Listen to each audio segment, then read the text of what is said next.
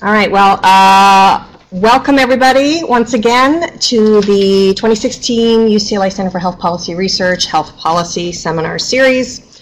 Uh, my name is Gwen Driscoll. I am the Director of Communications here, and it's my pleasure to welcome you and to welcome our wonderful guest speaker today, Dr. Lauren Gase.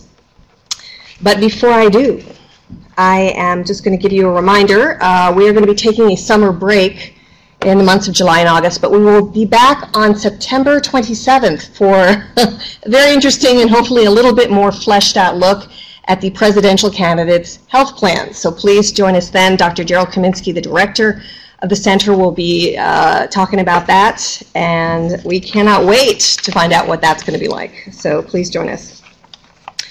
As for today's seminar, we will be recording it, as always, and it will be shortly placed on our newsroom at the address you see at the top of our uh, this slide. Uh, if you would like copies uh, of today's presentation emailed to you, just email me. My uh, email is in the middle. That's gdriscoll at ucla.edu. And of course, if you want to find out about all our upcoming seminars, our new data, our new research, there's always something going on at the seminar that's new and interesting. Please subscribe to our free monthly e-newsletter, Health Policy News. And the address is there at the bottom. Okay.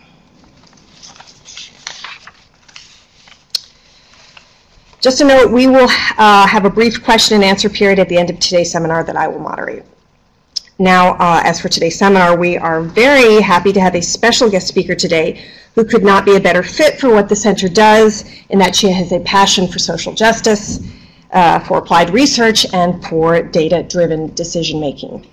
Dr. Lauren Gase is the Chief of Health and Policy Assessment in the Division of Chronic Disease and Injury Prevention at the Los Angeles County Department of Public Health. In this role, she leads a number of research and evaluation projects to prevent chronic disease and to improve the social determinants of health. Lauren's interests, as you will see from today's seminar, include identifying ways to improve health through the implementation of so-called non-health policies and programs. For example, prior to coming to Los Angeles, Lauren was a health scientist at the Centers for Disease Control and Prevention, where she led research and fostered collaboration among federal leaders to identify opportunities to positively impact health through transportation, education, and housing policies. In today's seminar, Lauren will look at one such program, the Teen Courts, a popular juvenile justice system diversion model in which youths are judged by their peers and given restorative sentences to complete during a period of supervision. Did this alternative justice solution prevent recidivism, which is linked to lifelong negative health consequences? Lauren will tell us. Uh, the answer to that question can be found in a recent article that Lauren wrote for the Journal of Experimental Criminology, which is the link you can see. Oh, I don't have it up there actually. But we will provide the link uh, to those who email me. Uh, and Lauren, do you have it on your slides? Okay, Lauren will show it to us on her slides. But you can also email me and I'll send it to you.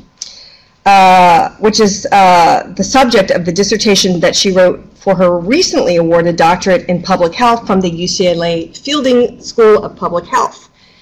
Uh, it's also the topic of today's seminar. So please welcome Dr. Lauren Gase.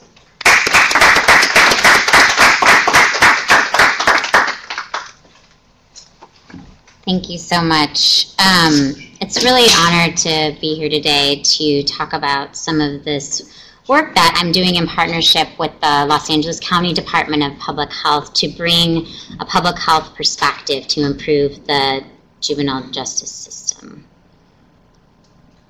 Sorry, Laura, we're so No worries.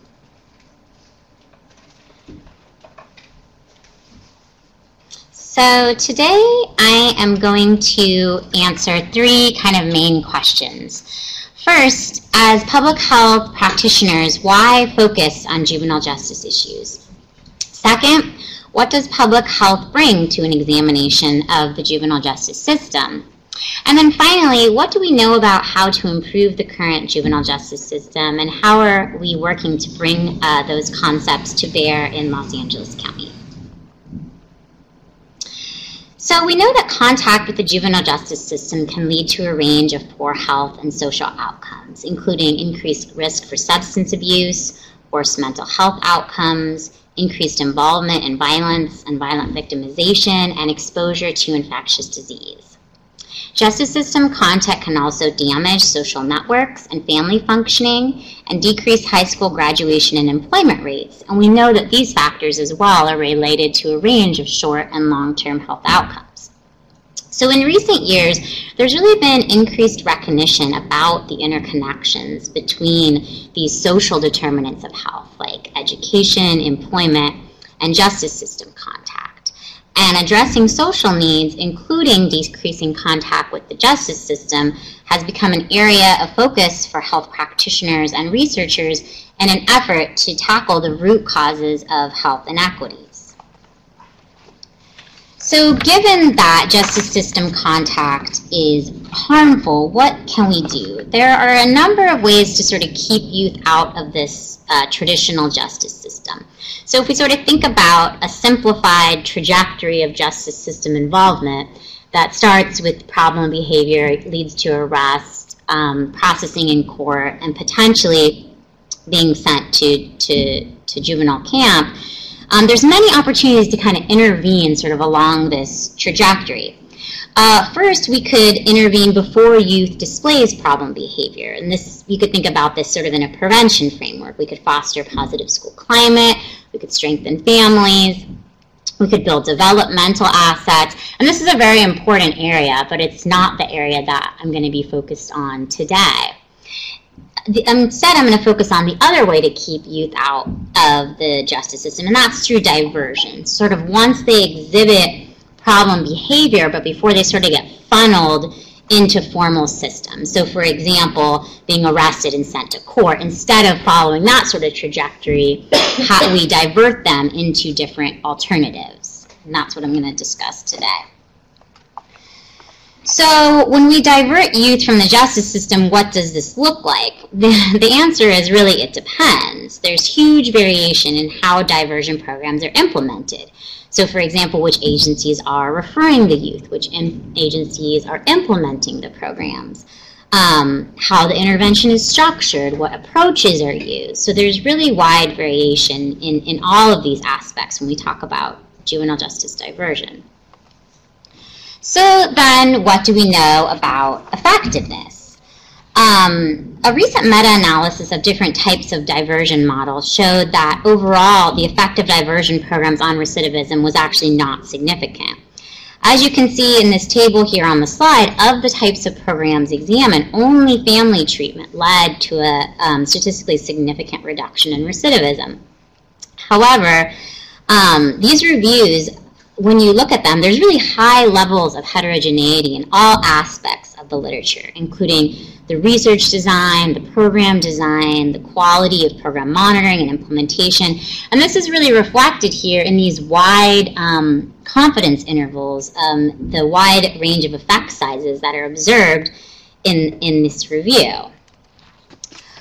Another review by Lipsey helps further illustrate the heterogeneity present. So while this review very clearly demonstrated um, that uh, therapeutic strategies better uh, work to reduce recidivism than control-oriented approaches, there's large variation within these kind of generic program types.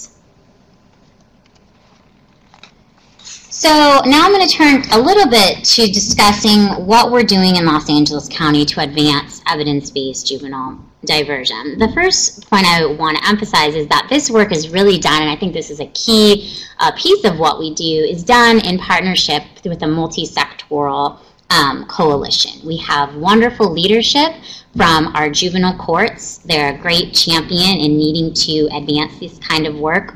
We have active engagement of a lot of the key players, including probation, law enforcement, the public defender, schools, community-based organizations, mental health, children and family services, etc. And public health is, is playing a leadership role in this. And, and over the past about nine months, we've been able to really uh, achieve some sort of key milestones.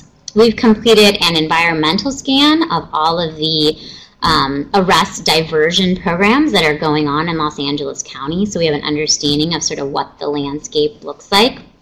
We were also uh, able to very recently convene practitioners to discuss emerging practices and models, so to get a better sense of what are they doing, how can we further align that with what we know to be sort of effective, how can folks learn from each other, sort of and promote peer-to-peer learning, etc.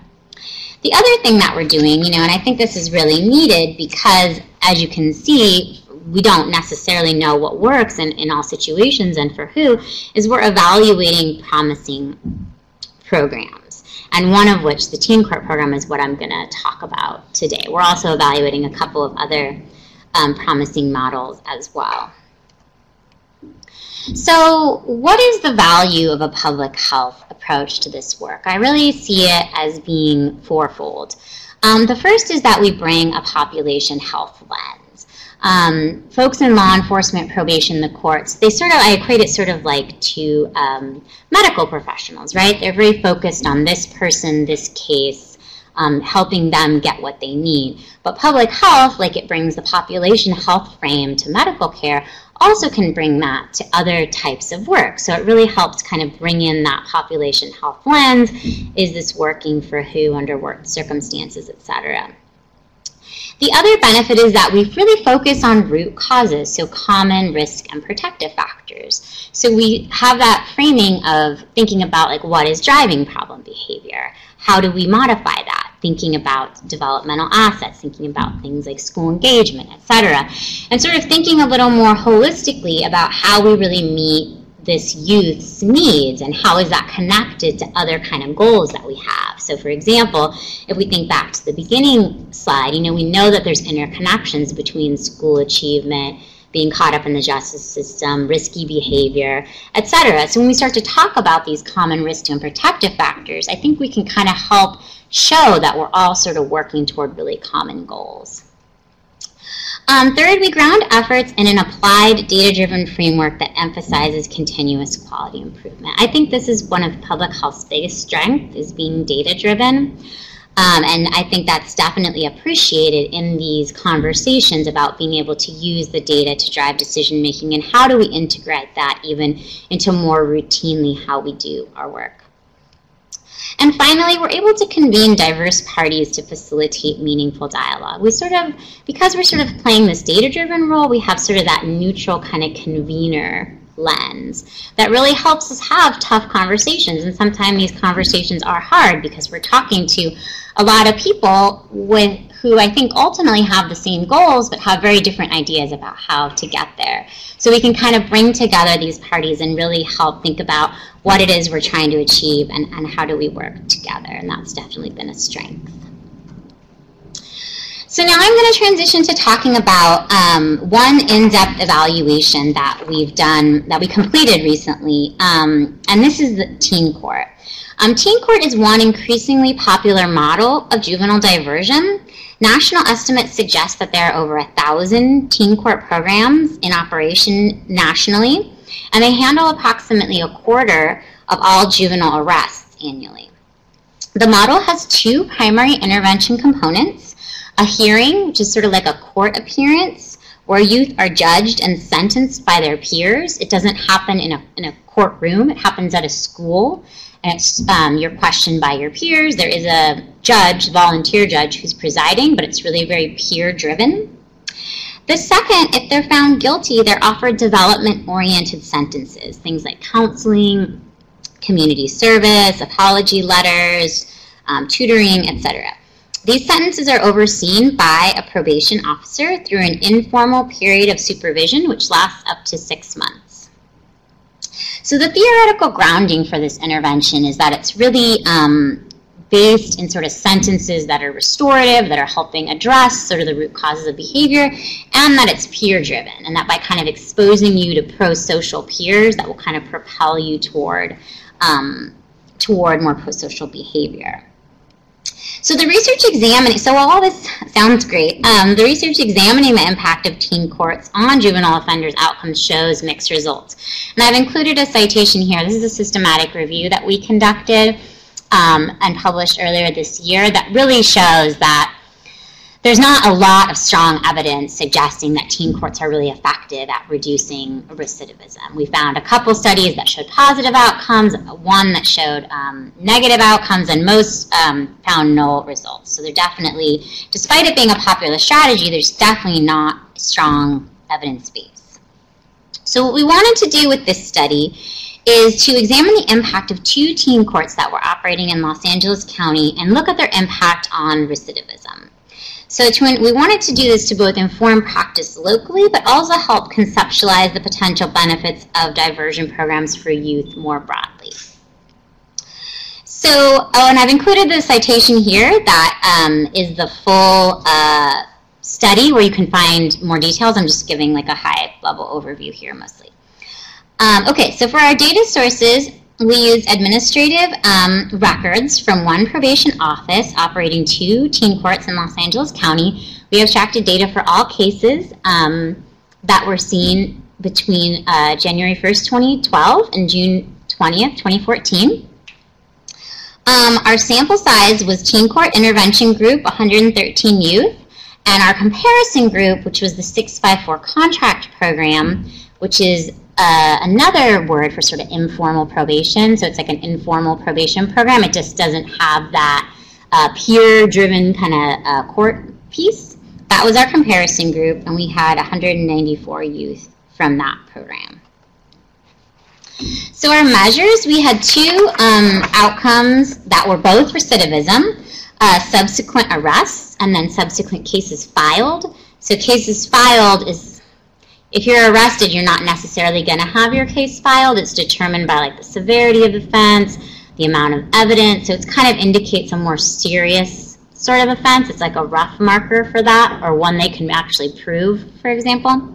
They also consider your prior record. So those were we, to to look at it sort of in a complete picture. We considered both of those outcomes of recidivism.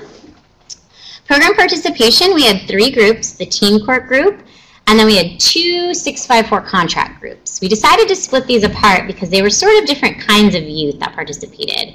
Um, and they were different kinds of interventions, I should say, more so than different kinds of youth. The first was school-based informal probation, and this is where you have a probation officer at your school that you have to check in with, sometimes daily, who's sort of monitoring your behavior. The second group is uh, we call it office-based um, 654 program, and that's where you have to come to the probation office like once a month to kind of check in with your probation officer. So you can see the different levels of intensity of that intervention, and that's kind of why we decided to separate that out. Control variables, we had a measure of risk uh, that was done through a validated tool that was developed by RAND whether they had any history or of contact with the Department of Children and Family Services. This was just any contact at any point, noted as yes or no. The age of arrest, gender, race, ethnicity, and length of follow-up time, because different kids had different lengths of follow-up time depending on sort of when they came into the program. Okay, so for analysis, we did a logistic regression um, and a survival regression model. So logistic was just any arrest or any case filed, and then survival was time to that first arrest or case filed. We had two versions of each model, um, with and without DCFS history. We sort of did that because we weren't sure from the data when that contact occurred. So for example, it could have occurred after you'd been arrested a whole bunch of times and then DCFS got involved, for example. So that was sort of a sensitivity analysis there. We also looked at differential impacts. So for example, you know, the type of case, gender, race, when you came into the program. However, because we had such a small sample size, it was really difficult to see a lot of meaningful trends here. So in terms of the results, the descriptive analysis, um, the majority of the sample was Hispanic, categorized as low risk and male, and most participants were between the ages of 13 and 17. Uh, program participants were similar in terms of gender, race, ethnicity, and risk level. The comparison group participants were younger and more likely to have had contact with DCFS, and we can talk about this a little bit when we talk about limitations. This can sort of potentially signal that they may have been a bit more of a risky group. Um, we had comparable rates of program completion and dropout, But we did have a greater percentage of teen court participants who signed their contract earlier, so they had longer follow-up time. So we did control for follow-up time in the logistic models, and of course the survival models automatically um, control for this. So in terms of program effectiveness, um, in our raw data, almost a quarter of the minors in the sample were rearrested, and almost a fifth had a case filed. And this is very high, and this in general is you know something we point out when we talk about the implications of this study because these are mostly low risk offenders. So to have this rate of recidivism is a little scary, I think, to me. Um, in the raw data, we did see a higher percentage of rearrests in cases filed among um, the comparison group than teen court. Um, so, for example, 18% of teen court participants had any rearrests compared to a quarter of office-based and 40% of school-based um, 654 program participants. In looking at the logistic regression models, we did see lower recidivism, any arrest among teen court when compared to school-based 654 program. And there were no statistically significant differences between the groups in cases filed, although there were similar kinds of, of trends in that, um, with that outcome. The survival analysis model, um, you can see the raw um, survival curve here of time to first arrest. And so you can, and, and the um, survival analysis models really mirrored the results of logistic regression, the multivariable survival analysis models. So we did see lower recidivism, time to first arrest among teen court when compared again to school-based 654, and lower recidivism time to first case filed among teen court when compared to office-based 654.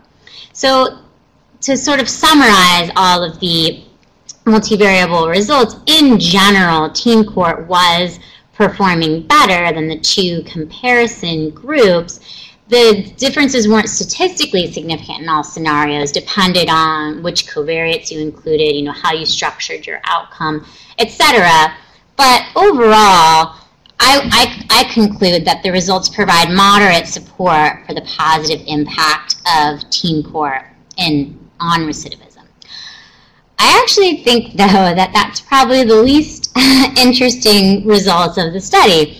To me, what I think is more interesting and what I think has gotten a bit more interest is the second point, that minors who participated in this school-based program, which, which I sort of alluded to was pretty intensive in its, in its dosage and delivery, showed the least promising outcomes. And this was very surprising to staff at the probation office, to staff the Superior Court, to, to me as well, given previous work supporting the effectiveness of school-based informal probation.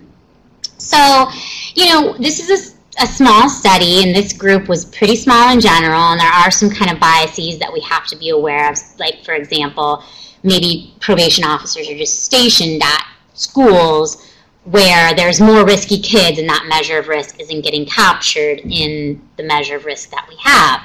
But I also think that there are other potential explanations for this. So for example, the positive role of negative labeling and deviancy training, both of which have been shown to be issues in these types of programs. So negative labeling is really when you start to internalize and feel yourself that you are a criminal, you know, you are an offender, you're a bad kind of kid. And so that kind of then starts to shape your identity about yourself. Deviancy training is sort of something that's used more when we talk about like uh, camp, for example, um, where you learn from other kids like how to be like a better criminal, for example. And so I think when people are going to these school-based probation uh, offices, there's also kids there who are on formal probation. There's really a range of, of cases that are being seen here. So my um, recommendation was really just the need to look at these school-based programs, which are growing in popularity in, in LA County, and really look at kind of are they doing what we what we think what we hope they're doing. The other piece that I'll mention, and I've dealt with this issue in a in a in a couple of other subsequent pieces. But blacks had greater rates of recidivism even after controlling for other factors, after controlling for risk, after controlling for age, after controlling for all these things that you think would be a predictor of recidivism, you still find these disparities. So there really is a need for more work to better understand um, the sources of racial ethnic disparities and to identify programs that can be most effective for different types of youth. So this study obviously had um, some limitations, the biggest of which was that offenders were not randomly assigned to treatment condition, and participation in these programs is voluntary. So there is potentially some selection bias present in here. Um, that just means that you know like there's different types of youth in the, in the programs. You know we, we attempted to control for this by controlling for things like I mentioned like risk, etc. But you know some of that could still remain. We did have feedback that actually not a lot of youth, when given this option, uh, choose not to participate because it's sort of presented in a way where you know if you don't take this opportunity, there's going to be more serious kind of consequences. Um, so, so not a lot of people choose not to participate. So that's one positive thing. On the second, and I think this is uh, speaks to kind of where we need to go with the field. Um, there, we weren't able to obtain any measures of program implementation, like how often they were meeting with the officer, what they talked about, what services they were referred to, what services they accessed um, or changes in knowledge, attitudes, or health outcomes. So there really was no measure sort of along that pathway of what's leading to recidivism still remains a little bit undefined. And so we're working now actually as a follow-up to this piece to do some qualitative interviews with youth, um, to observe some of the courtroom sessions and kind of sketch out based on criminology theory what that pathway might look like and how do we start to test more rigorously whether we are implementing an intervention that is achieving its short-term outcomes, not just its long-term outcomes. So we can understand how to tweak it, right? I mean, this study was a little bit limited. It's like, yeah, yeah, it works or yeah, it doesn't. It doesn't really tease out like why or why not or how do we improve it. That piece is not really there, and I think is something where we definitely need to go that direction in the future. Um, third, the sample was relatively small and the outcome was relatively rare. So like I said in the beginning, we couldn't look at a lot of differential impacts. We could look at trends, but you know, not a lot was really um, significant. Uh, so that's you know one limitation that we had. And then last, this also speaks to a need for sort of system redesign, I think. Um, results depend heavily on the quality of data abstracted. We had to pull all of this data out by hand, record by record, which was not easy. Um, so, you know, I think there, and this is something that I think is in conversations now, is how do we design these data systems in way that allow us to kind of look at how we're doing in more real time and kind of more easily pull data. I think it's the same. It's the same problem that we have with like EHR sometimes. For example, like it's not necessarily designed to be able to look at the things we want to look at. So in terms of the implications, really, I think much remains unknown about the programmatic elements that lead to juvenile diversion program success or failure um, we need to consider program impacts as well as you know other things like client family preferences, partner perspectives on the implementation, time, and cost. And as I was sort of mentioning before, I really feel that there's a need to collect, process, and short-term impact measures to assist with causal inference, to help inform theory, and contribute to decision making and, and process improvement. So in terms of, of moving forward, um, what we're trying to do now is really to identify, continue to identify strategic policy and program opportunities in collaboration with our key stakeholders. You know, we're working with the multidisciplinary stakeholder group. We just had, as I mentioned, um, our convening where we did some interactive activities to help sort of identify what challenges people are facing in practice, what uh, public health or what the county could do to support them. You know, for example, people really pointed to the need for additional technical assistance, additional training, because there's really wide variation in, in what's going on right now. So we think the convening was a really great first step. And so as we continue to work with the multidisciplinary stakeholder group, continue to look at other um, programs as well and their evidence of effectiveness, you know, we're definitely going to continue to, to move this work forward. I think the second thing is um, trying to infuse sort of a learning culture and a data-driven approach into practice. I think this is really a paradigm shift toward what works to support youth well-being and youth development. So I think we're trying to bring this in in some of our other evaluation work and in some of the efforts that are going on right now with a very exciting uh, piece of work being led by uh, Dr. Denise Herz at uh, Cal State LA, thinking about kind of what does um, a sort of cohesive strategy, a cohesive research unit for the probation department look like. Um, so there are some really exciting um, opportunities there at, as well.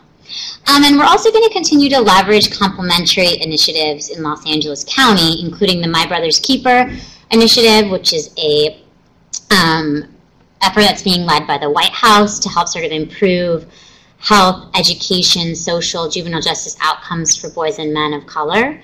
Um, and so it really, the, the framing and the messaging, I think, is right on in that they're really talking about these things as being interconnected. There's a lot of focus on the life course. And so for our work, uh, Los Angeles County has accepted the My Brother's Keeper Challenge, and one of the recommendations was to advance uh, effective juvenile justice diversion uh, programs in Los Angeles County and really look at seriously disproportionality and ways to address that. So we're continuing to, to work with those efforts. Also, there's a really exciting trauma prevention initiative that's going on in Los Angeles County, which is a strategic priority of our newly formed Los Angeles County Health Agency, which is, I don't know if you guys are uh, familiar with the recent uh, chaos, I guess, around this issue, is that the Departments of Mental Health, Public Health, and Health Services are all sort of in this umbrella health agency, um, where we're trying to really align efforts. Um, and the Trauma Prevention Initiative is aiming to reduce the disproportionately high incidence of trauma visits, injuries, and deaths in hotspot areas across the county beginning with violence-related trauma in South Los Angeles. So we are working to make juvenile justice diversion work a sort of explicit piece of the trauma prevention initiative, which I think is very exciting. The health agency also has an office of diversion, which is exciting as well, and that's really looking a lot primarily right now at adults and sort of how to um, take adults with substance abuse, mental health issues, and take them out of the, the justice system and sort of into programs that can actually meet their needs. But there's also conversations going on about how do we integrate a juvenile focus to that work. Because in my mind, to really stop the pipeline of adult offenders, you have to kind of deal with, with juveniles as a, as a piece of that. So those conversations are also linked up as well, which I think is really exciting. So sort of in summary, I, I mean, I hope that this example, you know, today of our work to partner with the justice system sort of highlights um, where we might be able to go sort of with some of public health research and practice efforts in the future. And I think for me, the sort of biggest lessons that I've learned was that really public health research and practice really benefits when we sort of have this expanded definition of what it means for youth to be healthy because we find a lot of natural partners when we when we do that and opportunities to really leverage these complementary initiatives in ways that profoundly shape health and health disparities. Um, second, a greater willingness to focus on multi-component, multi-sector interventions. I think sometimes public health gets a little um, narrowly focused sometimes, like we just want to do this, we just want to do this, and it's easier to measure that way, its impacts, for example. But I think, you know, youth are, are complicated and there's a lot of things going on. So thinking about how do we sort of surround them with different pieces? How do we build assets in a way that kind of will prevent a lot of things or, or promote, you know, resilience to strengthen the youth kind of overall to have a better trajectory? That's uh, really, really important. For if, if we want to generate meaningful impact. Um, third, more meaningful communication and alignment with other sectors. Uh, I've had a ton of fun, I guess, I would say, uh, working with all these diverse partners, and it's just so great to get different perspectives in the work that you do and identify different kind of complementary leverage points. And I think that's really, really key to, um, to this kind of work. And then last, just more explicit focus on identifying factors that can facilitate successful policy and program implementation. There are so many things going on every day in the county, for example, that are not tested, that are just like ripe for additional inquiry. They're, they're going on, they're happening right now. A lot of times they have data sources. It's not always easy to get at them. Um, but, but there's just such a natural kind of learning lab, I think, for testing and seeing what works, who's it working for, how do we improve it. Um, and so just being able to link sort of the research and practice community, I think is so important, and there's so many exciting opportunities to, to do that. So just um, in closing, these are some of the uh, references that I've included that are just uh, give you a taste of some of our community partnered and policy focused work that's going on in my unit right now. Um, it's a lot focused on juvenile justice. It's also focused on schools, school climate, um, uh, those types of things as well. So if you're interested or want to uh, know more, I am definitely happy to speak, to partner. This is sort of the world I'm living now, so always looking for different opportunities to kind of continue to, to build these, these efforts. So I think that kind of wraps up.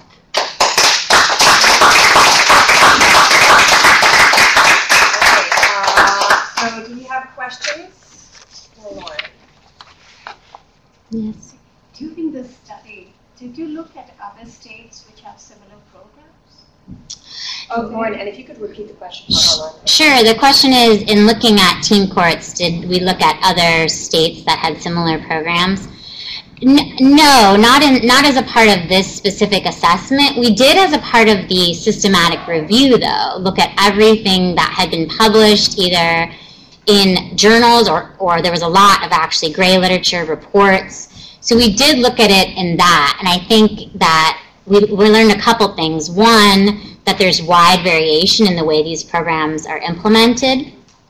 Um, they all kind of follow sort of similar models, like they have peers, but they're run very different kinds of, of ways. And, you know, across the programs, there wasn't a lot, I would say, of evidence for really strong um, impact on recidivism, and that was what most people looked at.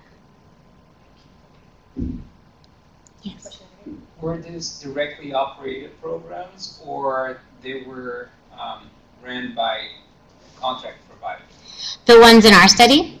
Oh, sorry. That uh, were the programs in our study run by contract providers, or were they directly operated? So the Teen Court program is actually in, in Los Angeles County is a partnership between three entities: the Superior Court, the Los Angeles Superior Court, schools, and the probation department. So if a school is interested in operating, the school is really the backbone of the program. So the school is the one that trains the jurors in how to ask questions.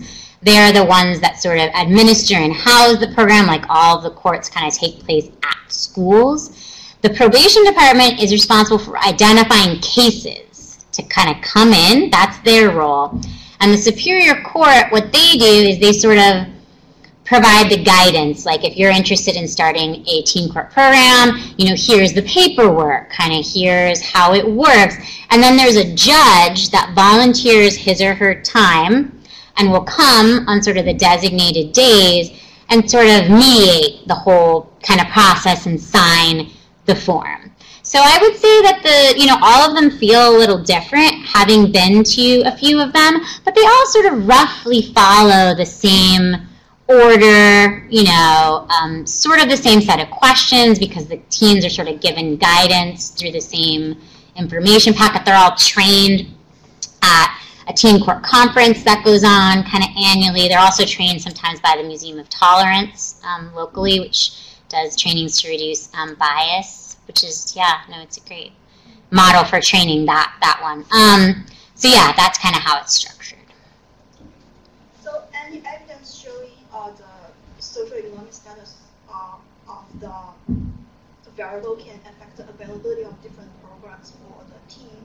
Uh, and also, you have three programs here, team quarter and uh, the other one. Mhm. To any evidence about uh, how socioeconomic, socioeconomic status variable affecting the availability of these programs to So the question is, is there any um, evidence that showed the socioeconomic status of the teen or their family was um, influencing like what kinds of programs were available or the different kinds of services that are offered? So unfortunately, we didn't have a measure of socioeconomic status for the youth. We only had uh, race, ethnicity, age, and some of the other variables I mentioned. So that wasn't something we could directly look at. You know, because, okay, this is another point, I guess. Because probation, the way your case gets assigned to a probation office is strictly by geography. So this probation area office dealt with sort of kids from a very sort of defined geography in South LA. So I wouldn't, if I had to guess, and I didn't look at this, I wouldn't guess that there was a lot of variation among the kids that were coming in to that office because they're being assigned based on geography. But that's not something that I looked at systematically and is a good idea. Lauren, we have an online question. Uh, Were you able to look at ACEs in individuals' background?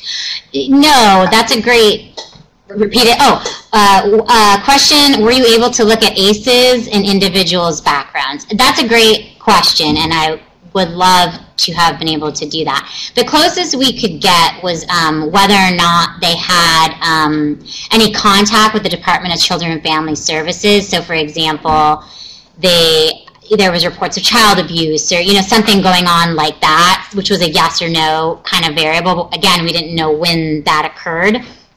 Um, no, I wish we would, and I think in future work that definitely needs to be considered, and we need to design the data system to be able to easily kind of pull out that. I would say though that um, some of that probably was captured in the risk measure um, because it does have sort of questions like that. However, we weren't able to get sort of individual risk scores. It's a 60 item, uh, it's a 60 item uh, scale, but we were only able to get sort of the aggregate item. Okay. I have a question. Yes. Is this study was part of your PhD also? Was this study part of my PhD? Yeah. Yes. Yes, yes. yes, it was. Okay, uh, we have an online question. Uh, Just some clarification, did you mention at the beginning, the family treatment shows reduction of recidivism? I think it was one of the first charts, maybe I misunderstood. Are you looking at any family treatment programs? So the question is, um, did did did I say that family treatment was an effective sort of intervention for reducing recidivism, and am I looking at any family treatment programs? Uh, so, so yes, you're right in that the review, uh, the systematic review that I presented toward the beginning does show that family treatment programs are among are, are the most effective sort of uh, component for pre- preventing recidivism. So I will say that some of the teen court work does have a family component. You know, one of the um, sentences that youth are often given is to participate, is for their parents to participate in parenting classes, is for youth to participate alongside their families in sort of family counseling. Again, however, though, because we couldn't, we didn't know which sentences which youth got in our study, we couldn't tease out like if that was a component that was really driving the outcomes. And I think that that's a really important piece to look at in the future is does that piece, and, based on the literature, we would assume that that does make it more effective. So that is a good direction. Uh. So, uh, did the evaluation look at specific kinds of restorative ad- adjudication, and if so, whether some were more beneficial than others? If so, do you have any information on the impact of employment or related interventions such as work-based learning or industry-specific job training? So this question is, um, did we look at any specific kinds of restorative adjudication, and if so, whether some were more beneficial than others, like job training, uh, work-based learning, et cetera? Again, this is a great, this is a great question, and I think that it's we we couldn't again capture like which sentences they got. So I think though that that's definitely something that we need to look at more in the future. I think you're absolutely right that things like you know employment is a really strong predictor of not becoming involved subsequently in the juvenile justice system.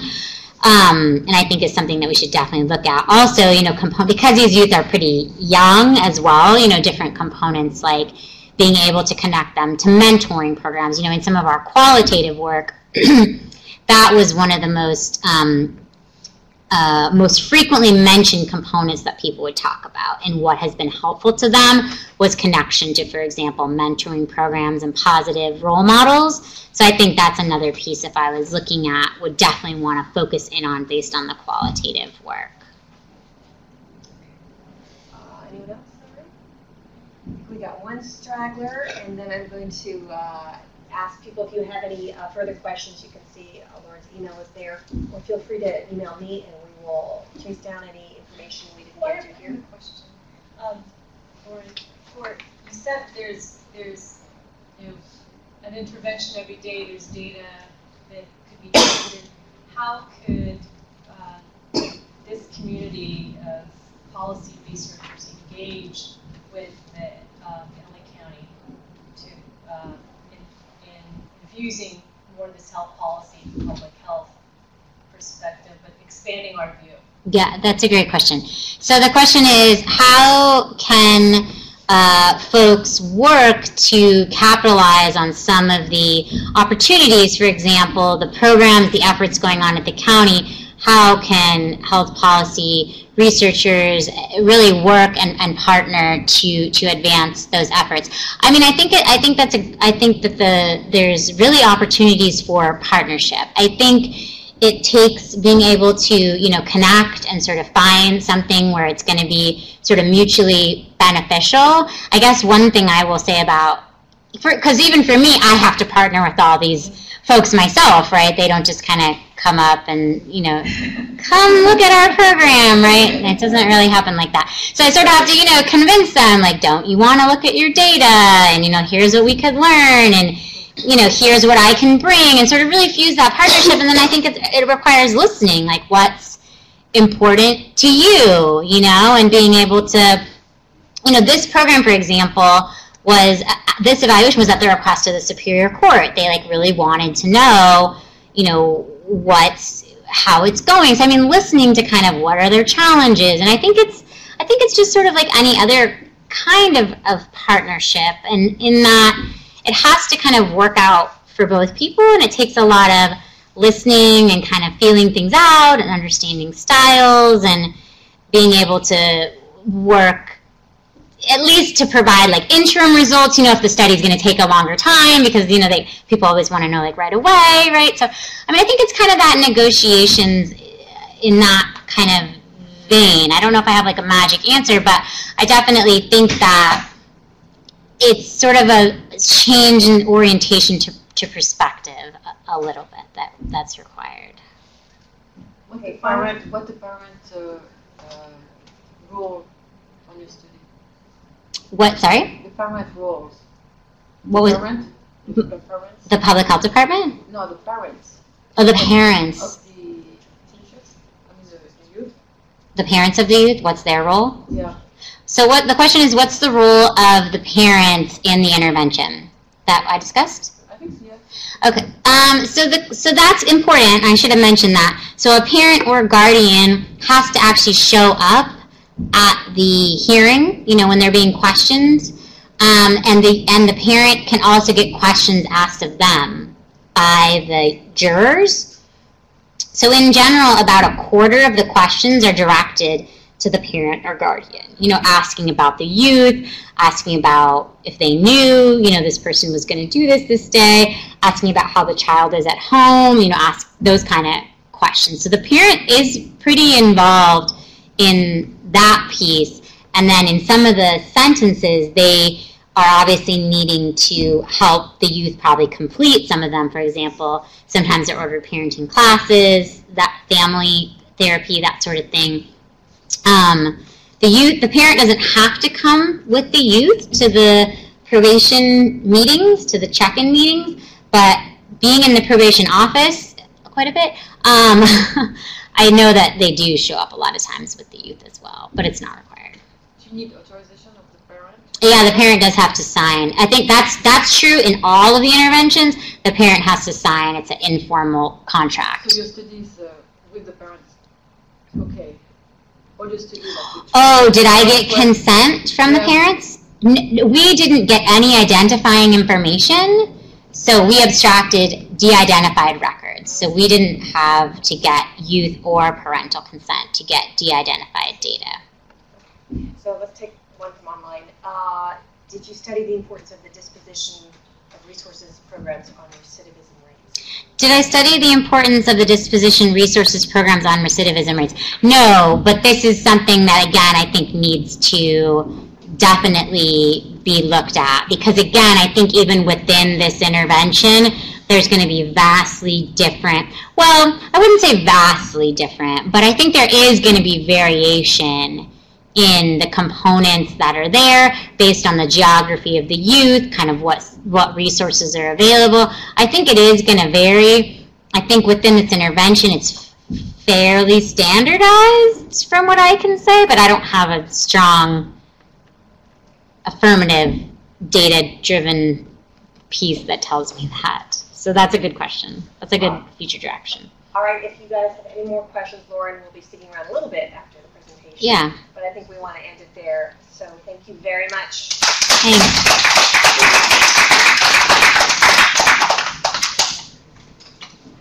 When did you graduate? Uh, I just graduated. Congratulations. Thank you so much. Thank you. Yeah, like